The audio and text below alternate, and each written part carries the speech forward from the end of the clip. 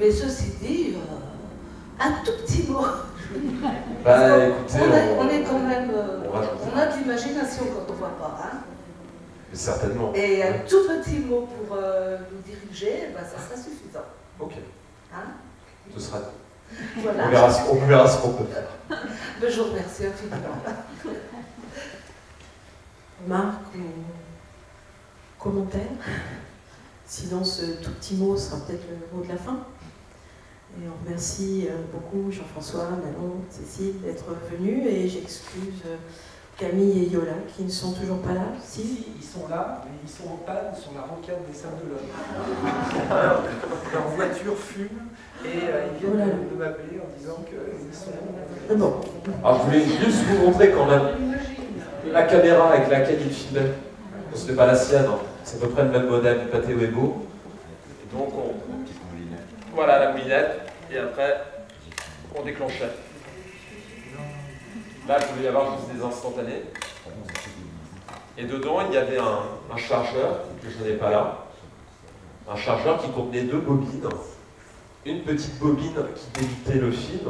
Hop, merci, donc je change la bobine. Et une bobine qui recevait le film. Et c'était des cartouches métalliques comme celle-là.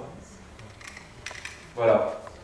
Euh, donc une longueur de film à peu près 8 mètres 50, 1 minute 30 d'images, donc toutes les 1 minute 30 on recharge la caméra. On est très loin du numérique d'aujourd'hui, pas du numérique tout court, puisque c'est aujourd'hui. Euh, donc un film d'une heure 13, il a tourné pendant deux ans, imaginez, euh, pour monter tout ça. Je crois qu'il avait du temps puisqu'il était prêtre. Voilà. Tout ça pour vous dire que c'était réservé surtout à des catégories moyennes à très aisées. Que la plupart du temps, ceux qui tournaient surtout en 9.5, puisque c'est le premier format d'amateur, le, mythique format d'amateur en 9.5 qui est inventé en 22, c'était surtout des notables, des avocats, des médecins, ou des gens qui avaient, on dira, une autorité symbolique, euh, bah, des prêtres, des instituteurs, donc, ce, sont, euh, ce ne sont pas des catégories, euh, on n'aurait pas d'ouvriers à tourner. Et on a très peu dans nos collections d'ailleurs de regards. Donc, c'est un peu euh, un regard, un rapport au monde, bah, hein, c'est un peu, c'est pas biaisé, mais c'est pas, pas quelque chose de. Mais moi, je Par sais ça. des sables de l'homme, il y a un coiffeur euh, qui, euh, qui retransmettait euh, la foire, la fête des fleurs au sable de l'homme. Et il en a un tas comme ça. Il est décédé, pour monsieur. Et je ne sais pas ce que sont devenus ces filles. La Cinémathèque demandait cette lettre. Il y en a quelques-uns à la cinémathèque de Vendée, effectivement. Mais on n'a pas encore tout. Hein, c'est- Ah oui. fonctionne sur le même principe avec les, les- les- les personnes qui, qui dépouillent. Nous, on travaille aussi avec les archives départementales. Et les, les- les personnes qui ont des films les déposent, elles en restent propriétaires. Et, euh, et la cinémathèque fait un travail de, de numérisation, de description, de catalogage, de, valorisation. Oui, je disais que la, la Cinémathèque de Vendée, je le dire, c'est aussi une garantie que les fonds ne soient pas dispersés. Et euh, alors effectivement, on a des fêtes des fleurs euh, au sein de l'homme, on, a, euh, on a des visites aussi, par exemple, le, le apostolique est, venu, je ne sais plus dans quelle année exactement c'était, mais bénir euh, des bateaux, et le nonce de l'époque, c'était le futur euh, Jean 23. À la fête de la Euh, Je pense à des images de la chauve aussi, avec des éléments qui ont complètement disparu. L'arrivée du train sur les quais, ça se fait plus du tout comme ça maintenant. Donc, euh, non, c'est vraiment précieux ce genre, ce genre d'image. Et c'est bête, euh, c'est trop, trop dommage quand elles partent dans une déchetterie parce qu'on ne sait Voilà. pas comment faire. Si vous avez des films, surtout ne les jetez pas. C'était une campagne mondiale. Toutes les langues disaient ça, surtout ne jetez pas. Ouais, S'ils ont envie qu'on les rende leurs films, on le fera. Et parfois, on a peur qu'ils les jettent à la poubelle. Ils sont tellement heureux d'avoir une copie DVD, mais ils oublient que l'argentique, euh, c'est légèrement plus pérenne. quoi. La copie DVD, dans 10 ans, euh, selon l'usage. euh, donc voilà. Il y a plein de trésors encore. Des petites dit. Il y en a plein partout. Partout, partout. Il y en a tellement qu'aujourd'hui, nous, à la Cinémathèque de Bretagne, parce qu'on a des mariages de tous les coins de Bretagne, c'est sociologiquement très intéressant aussi. Aujourd'hui, on dit stop, tant de films sur les mariages, maintenant, alors on arrête.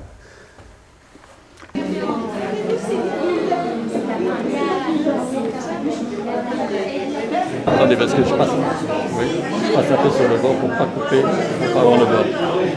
Il faut exprimer sa lanterne. Hein. Vous avez bien travaillé, remarque. Hein. Oui Très bien. Il faut que voir les visages un petit peu quand même, que pour le trombi. Allez, allez. À vous. Bien, bien au milieu, s'il vous plaît. Merci. Allez-y, monsieur. Passez donc. Non, ça ne passe pas. Vous allez vous cogner le nez. Là. croisières qui veulent faire ça. Après, euh, s'adapte. Je pense que ça, c'est mon avis à moi. Euh, toute autre personne, c'est mon avis. Je pense que ça soit la mer pas forcément la la va pas être la même. C'est c'est tout un jeu. Tous les critères qui désignés sont euh, on n'a pas pensé. forcément pièce, euh, c'est un- pour une pièce. Sans moto, ça reste, ça reste quand même. J'ai pu faire la différence euh, entre euh, il y aura le Jérôme, euh, la Déjà chez c'est déjà faut faire l'imprimante, il ne pas aller trop loin forcément, mais euh, c'est- voilà, il faut c'est faire un petit peu. Euh, À l'idée d'autobiographie. Tu vas voir. si tu es Ouais, là. parce que en fait, euh, c'est vrai que la la contrainte en effet, c'est le les 5 minutes quoi. Ouais. Donc Tu l'as oui, fait oui oui bah oui. Moi je l'avais fait il y a j'ai tourné ça il y a il y a un an mais je fais il y a beaucoup plus de choses au départ. Ouais. Et t'as- mis du temps avant de trouver son. Eh ben, je- non, je savais. je- je- J'ai pu faire la différence. C'est directement euh, au off. Voilà. Alors, euh, si nous sommes là euh, ce soir, euh, vous, vous et moi, c'est parce qu'on aime le cinéma, je pense, mais aussi parce qu'un certain nombre de, gens et d'organismes nous ont apporté leur aide. Et euh, c'est euh, donc à, eux euh, que je voudrais m'adresser d'abord et les, remercier. En tout premier lieu, le Conseil régional des Pays de la Loire est notre plus fervent, on supporter. Euh, le Conseil général qui nous apporte également son aide et qui a doté un certain nombre de prix, vous verrez demain, pendant le, palmarès de, tranches de vie. Alors nous avons également des supports euh, qui ne sont pas institutionnels. Euh, le Super U qui est juste à côté d'ici et qui nous aide en nous offrant le superbe buffet que vous aurez la joie, je suppose, de déguster demain midi. Alors je voulais dire à propos de ce buffet qu'il est ouvert donc à, tous et qu'on vous y attend nombreux, que tous les réalisateurs présents au festival seront là et que ça sera un des moments où vous pourrez discuter avec eux, échanger sur les films.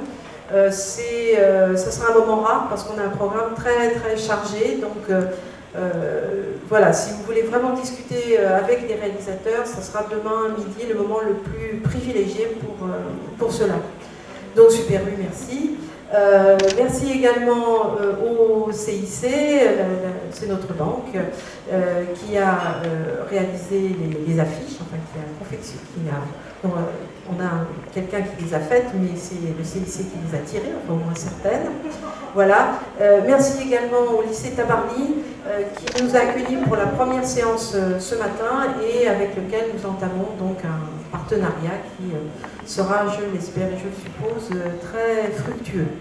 Qui euh, va arriver d'une minute à l'autre et qui va vous présenter le film et qui pourra en parler avec vous après la projection et qui sera là demain bien sûr aussi pour en parler parce que c'est un filmeur invétéré. Voilà, qui est là aussi pendant les deux jours et avec qui vous pourrez discuter si vous le souhaitez. Euh, après, il y a une séance donc de quatre euh, courts ou moyens métrages, on va dire, euh, dont certains réalisateurs sont présents, certains sont sous, mes yeux. Donc là aussi, pour nous, c'est important de montrer des films et d'avoir autant que possible avec le film quelqu'un qui puisse en parler autant que possible son réalisateur. Alors quelquefois, c'est pas possible. Par exemple, le film de clôture, Sacha Guitry. Bon, euh, difficile d'avoir Sacha Guitry, mais donc euh, Gérard Courant, encore lui, euh, qui est un fin spécialiste du cinéma de Guitry, vous en parlera savamment. Voilà, et puis alors, autre film, bon, vous allez voir des tas, des tas de choses très, très fortes qui tournent toujours autour de la notion, notion d'autobiographie et de cinéma, bien sûr. Et je voulais signaler le très beau film aussi de Vincent Dieutre qui s'appelle Jaurès et qui passera demain à 20h. Vincent Dieutre est là. Il est le président du jury de la compétition Tranche de vie. Et euh, donc, euh, il sera à, votre disposition pour parler aussi de, son film. Alors, deux mots sur la compétition. Donc, c'est demain, entre 13h30 et 16h. Euh, Certains des réalisateurs sont présents, d'autres arriveront demain. alors, je vous rappelle, il s'agit de films courts, 5 minutes maximum. Cette année, on, avait 29 films inscrits, je crois, et on en a 20 en compétition. Alors, c'est pas qu'on en a refusé et puis, euh, enfin, il y a eu au moins un film qui a été refusé pour des raisons techniques, parce qu'il était difficilement montrable en l'état. Voilà, donc euh, vous allez euh, savourer, j'espère, tout ce, tout ce, cinéma. Et avant de, passer donc, à la séance de 20h, je crois que Pierre a un petit texte à, vous lire. Alors Pierre, c'est mon mari, c'est le trésorier de l'association Petite Lanterne.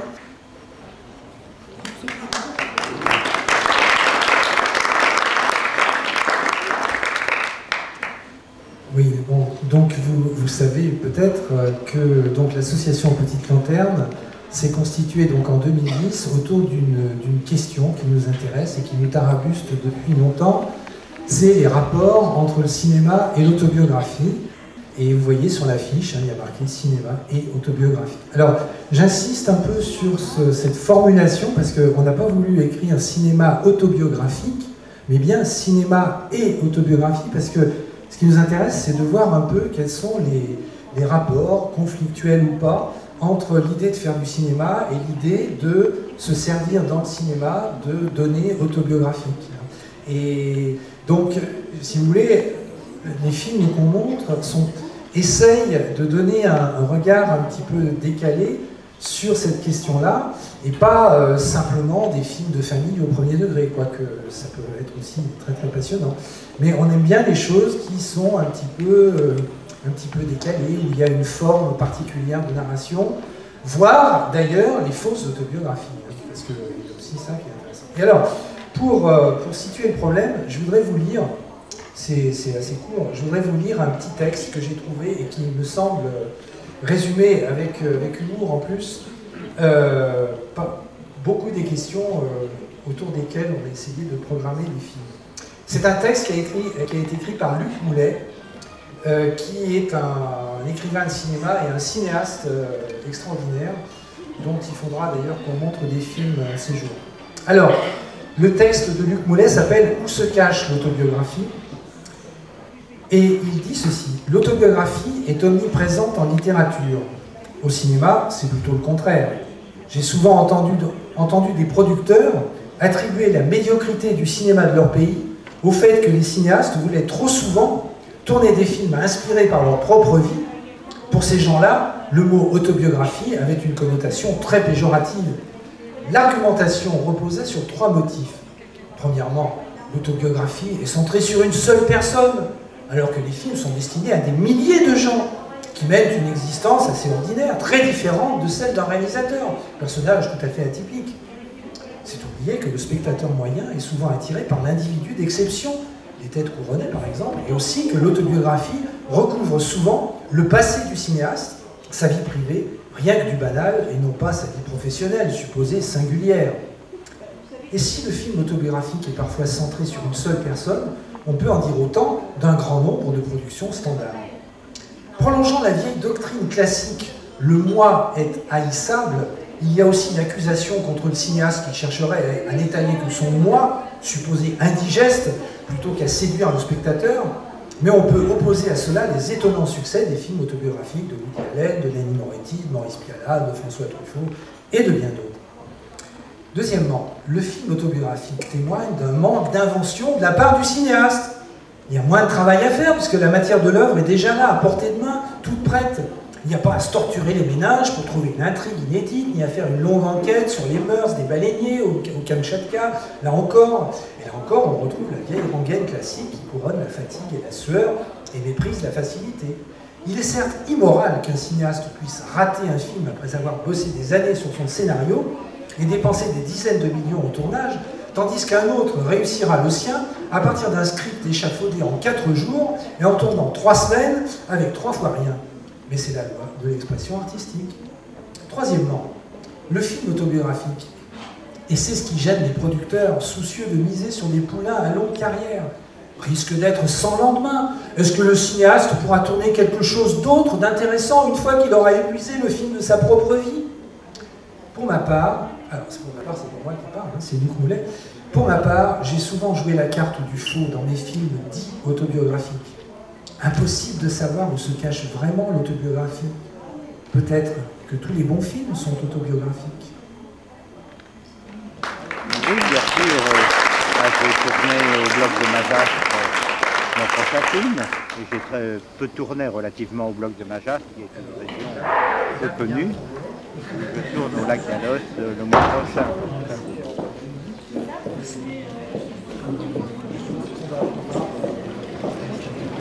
Est-ce que tu pourrais mettre de la lumière sur... Euh, voilà.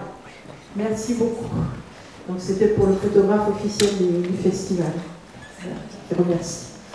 Bien, euh, donc euh, cette, séance d'ouverture regroupe deux, films qui ont pour point commun l'Iran, mais deux films qui sont néanmoins fondamentalement différents. Alors, vous allez voir d'abord le film de Gérard Courant, ici présent, toujours en train de filmer. Euh, alors, Gérard Courant, il faut le, dire très, rapidement, c'est un cinéaste qui fait énormément de, films différents, mais qui est très connu pour une, production très, longue et, qui n'est pas terminée d'ailleurs, qui s'appelle des cinématons, c'est-à-dire des portraits de cinéastes euh, qu'il a commencé en Super 8 qu'il poursuit en, numérique, et ce sont des portraits muets qui durent ce que durait la durée d'une bobine de Super 8, c'est-à-dire un petit peu plus de 3 minutes.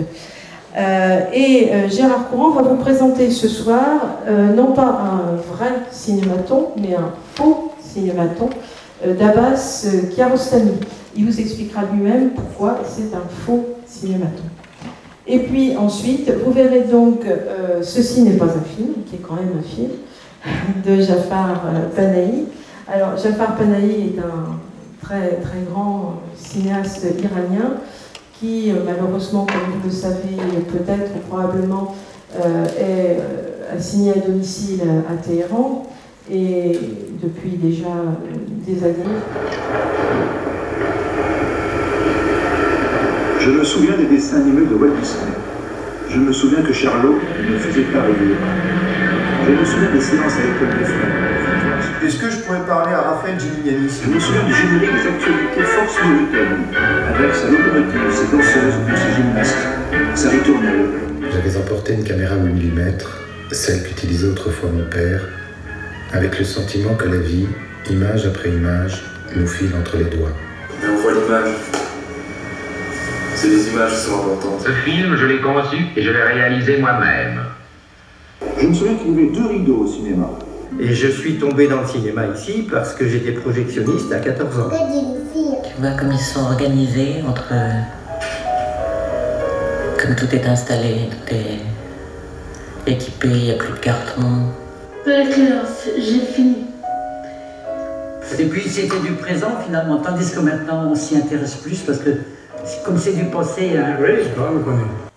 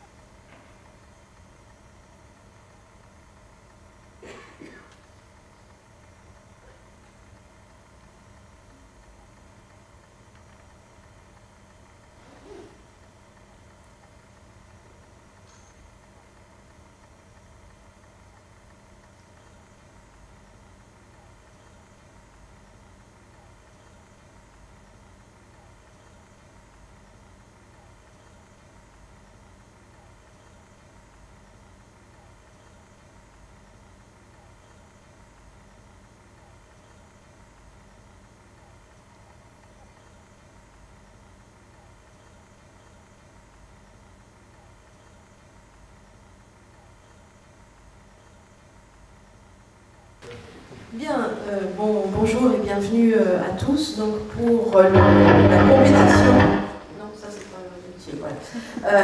Pour la compétition tranche de vie. Alors je vais vous, expliquer un petit peu comment les choses vont, se passer. Première chose, on a euh, 20 films inscrits.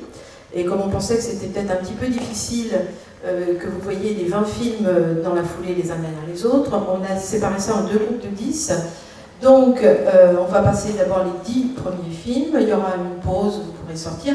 Alors, c'est euh, la même séance, on est bien d'accord, vous n'avez pas besoin de repayer, mais bon. Euh, donc, vous aurez une, petite pause d'un quart d'heure, 20 minutes, une demi-heure maximum. Et puis ensuite, on passera les 10 films suivants.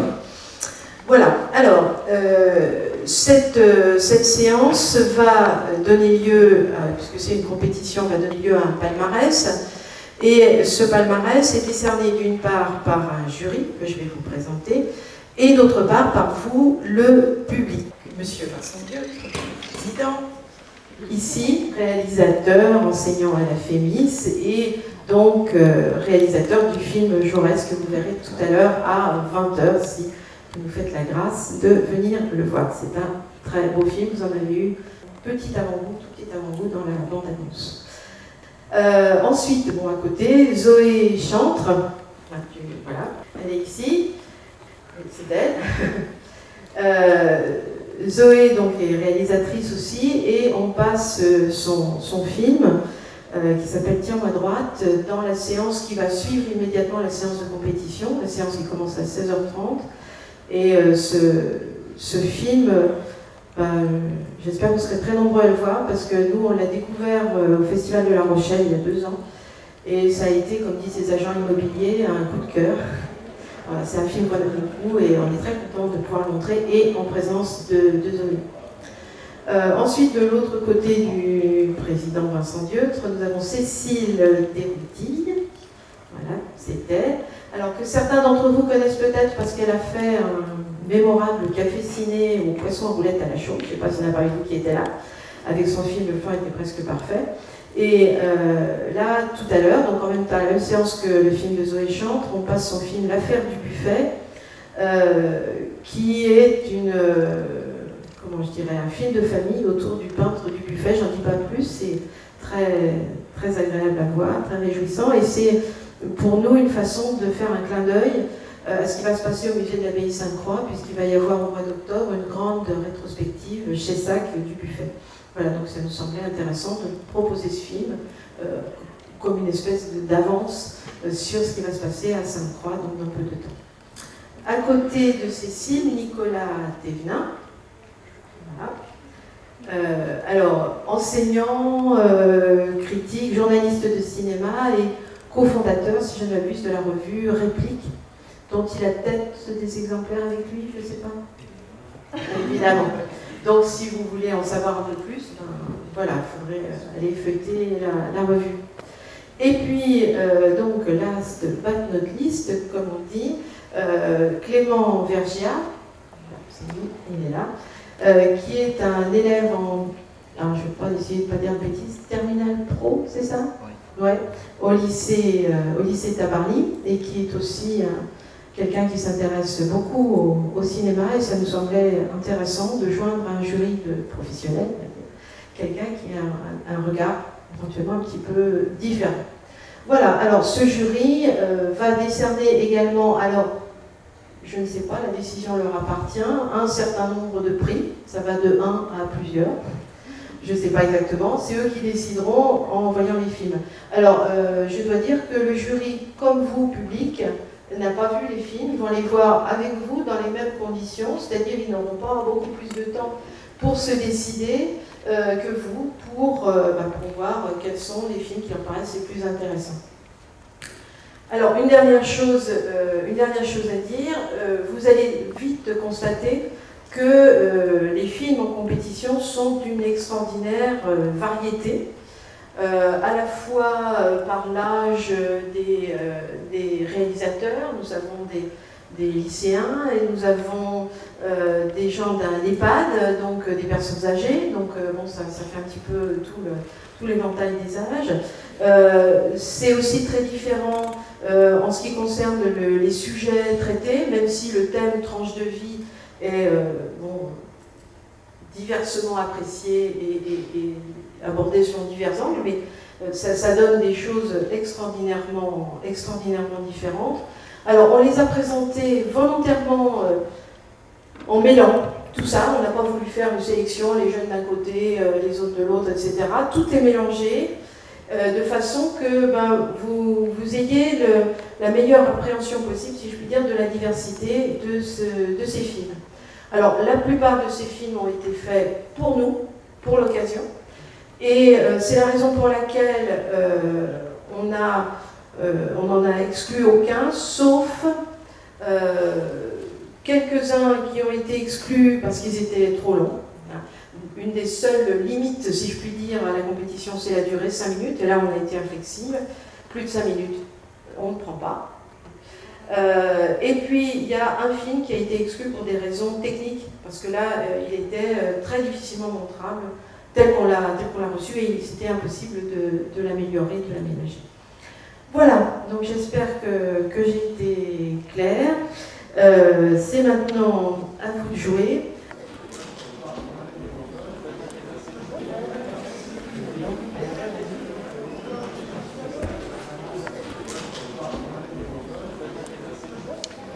Donc.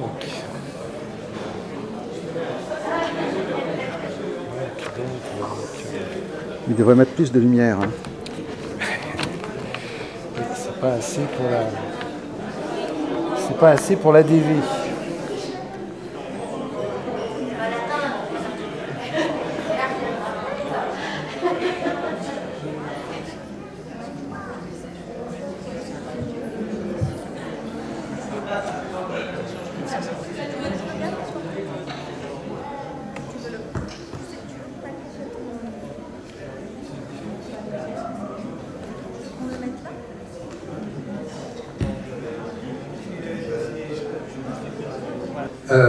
Euh, séance donc non compétitive, hein, mais séance euh, tout autant euh, teintée d'autobiographie.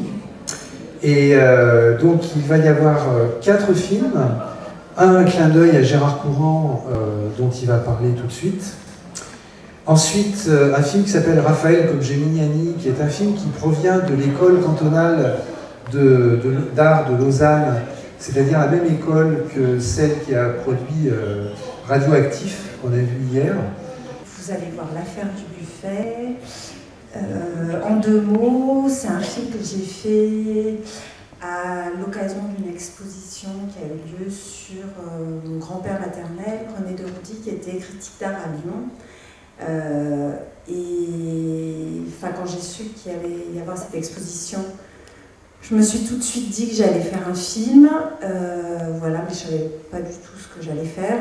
Et puis, euh, on, m'a fait lire euh, une correspondance, des échanges de lettres. et j'ai trouvé ces lettres formidables et je me suis dit, ben voilà, ça va être ça mon film. Donc, en gros, j'avais, j'avais mon histoire, j'avais ma bande-son. Et après, il fallait que je trouve ce que j'allais mettre à l'image, sachant que euh, je ne pouvais filmer qu'un seul tableau. Voilà. Donc c'était un peu le défi. Et puis, bah, mieux c'est d'en parler plutôt après. Je précise une chose, c'est que le film de Cécile va être projeté dans une copie parlant français mais sous-titré anglais. Et voilà, donc j'ai pas trouvé moyen d'enlever les sous-titres parce qu'ils sont incrustés dans le film. Oui, et en fait c'est un film que j'ai tourné, enfin qui a été tourné en pellicule en 16 mm. Euh, et, enfin qui n'a pas été réétalonné pour euh, la copie vidéo, etc. Donc euh, l'image est parfois assez loin de ce que c'était au départ. Voilà. Donc il faudrait réétalonner, etc. Mais ça, ça demande du temps et surtout de l'argent, donc euh, c'est plus compliqué. Merci. Et puis Zoé, si tu peux dire quelques mots sur Tiens-moi droite. Euh, ben, en fait, non, j'ai rien à dire, à part à tout à l'heure. Euh, et je vous souhaite une bonne projection.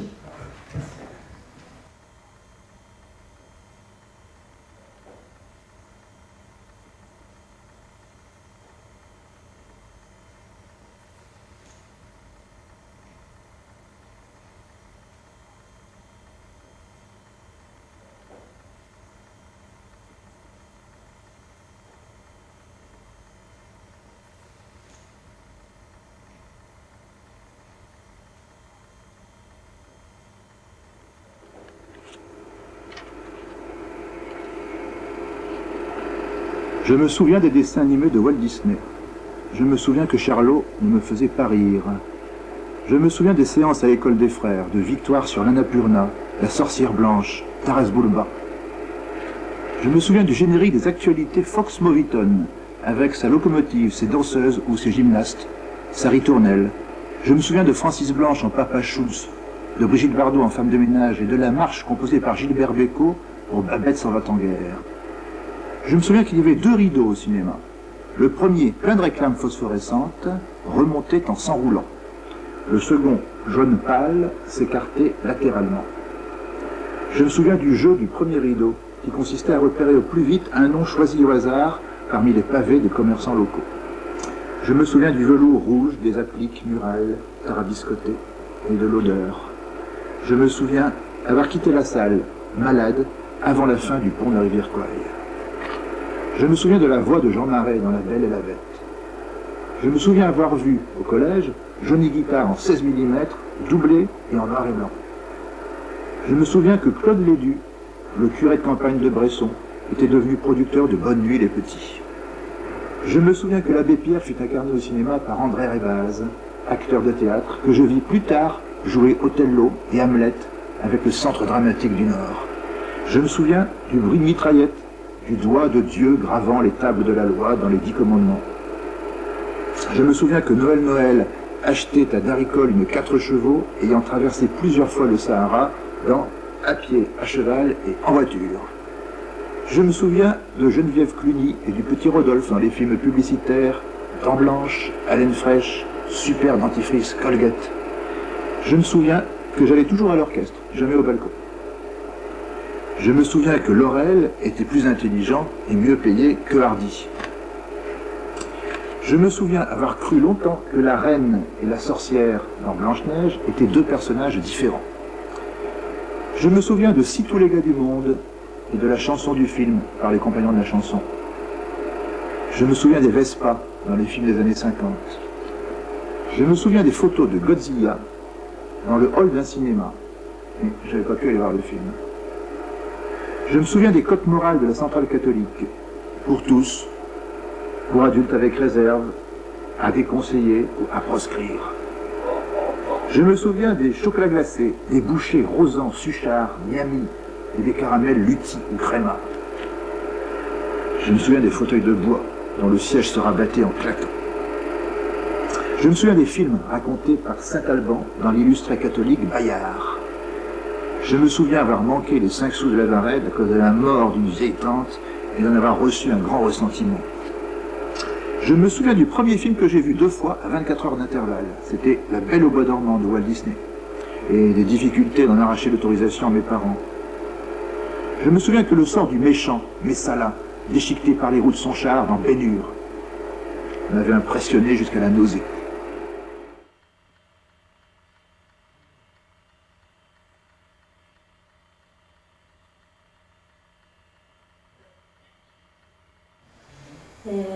C'est un film euh, très important pour moi parce que c'est ce film qui m'a amené au cinéma. Euh, il a commencé, je ne savais pas du tout que ça allait être un film. C'était donc un, livre déjà. Et, euh, et puis un jour, quelqu'un m'a demandé de montrer la maquette de mon livre que j'avais en un exemplaire à 200 personnes. Et là, je me suis dit, comment je vais faire? Je ne vais pas passer le livre comme ça à 200 personnes. Donc j'ai commencé à en filmer les pages. Et en filmant les pages, en fait, un nouvel univers s'est ouvert à moi. et, euh, et, petit à petit, donc euh, voilà, j'ai voulu continuer l'histoire euh, avec la caméra. Est-ce que vous aviez déjà dessiné ce cahier ou vous l'avez reconstruit Alors, les, les dessins que vous voyez, j'ai commencé donc à l'âge de 11 ans. Donc, ceux du cahier, j'en ai, euh, j'en ai 70 aujourd'hui. Oui, je dessine beaucoup. Et, euh, et tous les dessins qu'il y a là, je les ai faits avant 20 ans, avant mes 20 ans. Je, continue.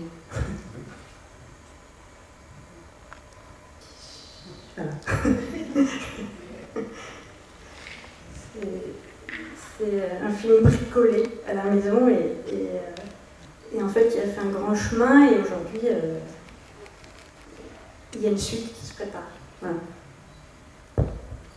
Euh, moi, je trouve le film incroyable d'inventivité euh, graphique. Puisque chaque situation, chaque moment, ou euh, chaque réflexion comme ça sur la maladie est illustrée de manière particulière. Ce qui fait que le film n'est pas du tout redondant.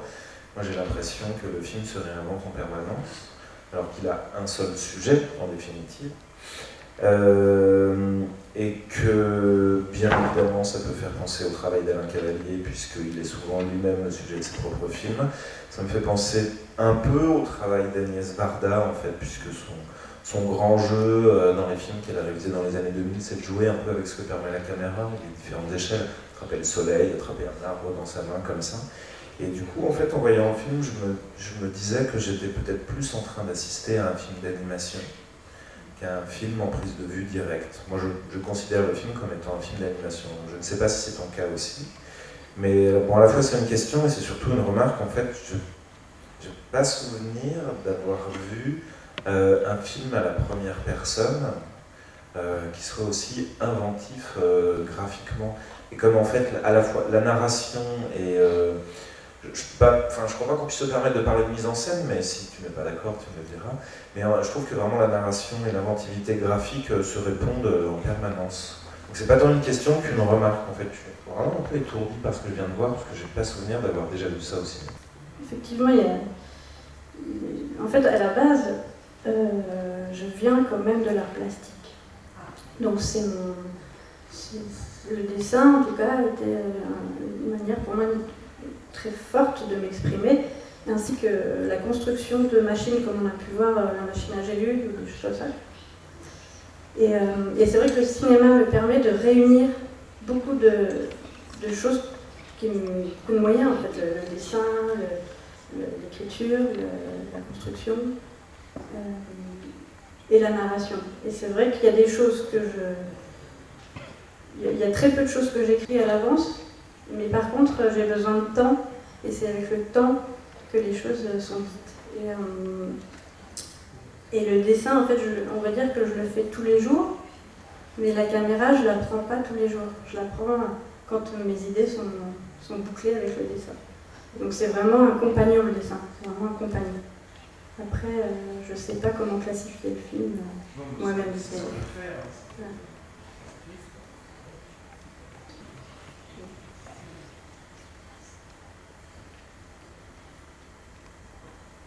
Votre film circule beaucoup.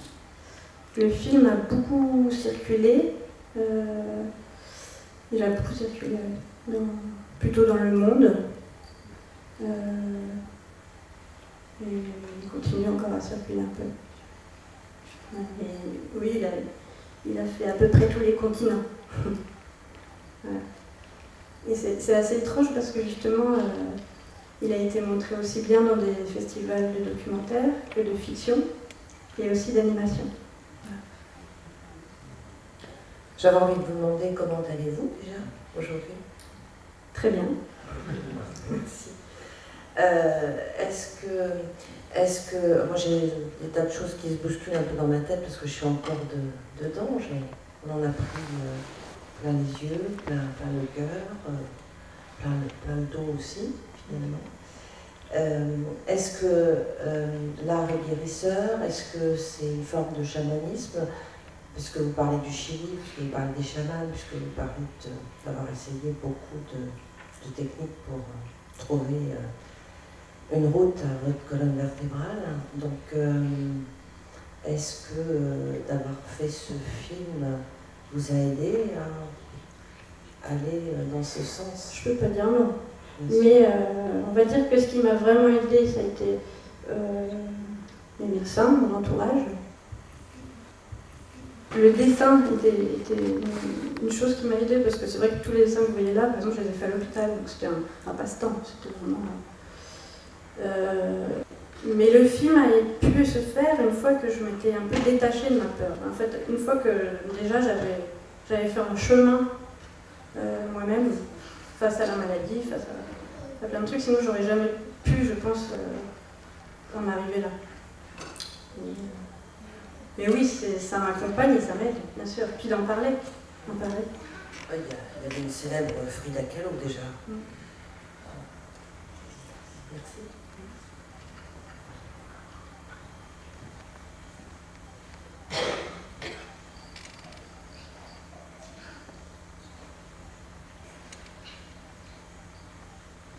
Quel projet de, de film Quel projet de film avez-vous là euh, dans les années à venir?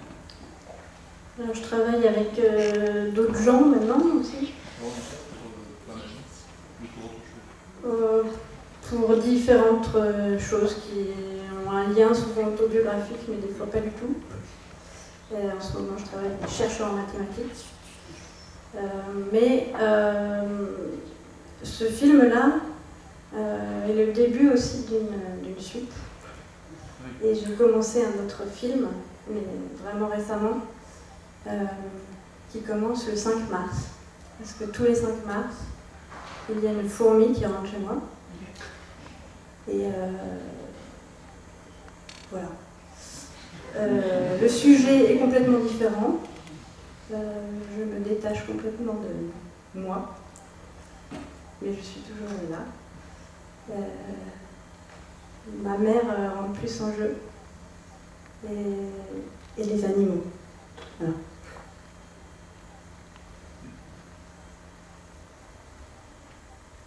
Oui, au-delà de toutes les considérations techniques, j'ai juste envie de vous remercier très fort de cette belle leçon de vie.